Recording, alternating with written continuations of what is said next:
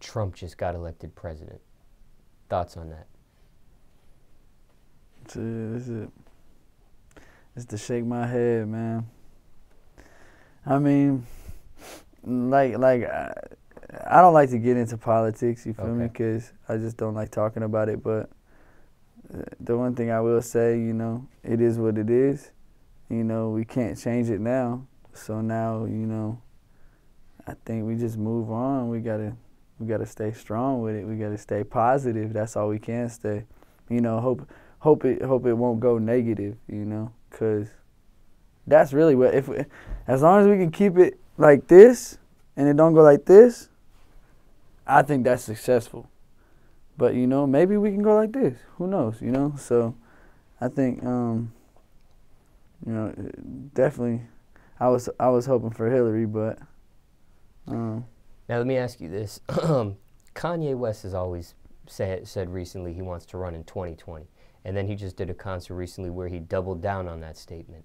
What, what does that mean? Double down? He's firm on that. Oh, okay. Yeah. You're talking about he doubled up. All yeah. right. So basically, he's stating again. I am he- gonna do that. yeah, He did so- that when?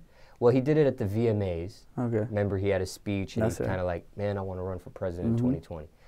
And now, since the election, he was just, you know, he's been on tour. It's crazy. 2020 is four years from He, now. he doubled down on his statement and said, yeah, he wants to run for 2020. What are your thoughts on? I mean, obviously, you don't know what his stance on issues are or you know, so on and so um, forth. And like I said before, I don't even. uh, Not to say that you know, I just don't really begin into politics too much, you know, right now. But um, you know, I like to be aware, you know, of what's going on. Um, shit, I mean, I, I guess we just have to see what. I mean, it's it's definitely possible, you know. He can definitely he can definitely win, you know. Uh, so you know, if that's what it's about, then yeah, he can he can go up there and he can win definitely.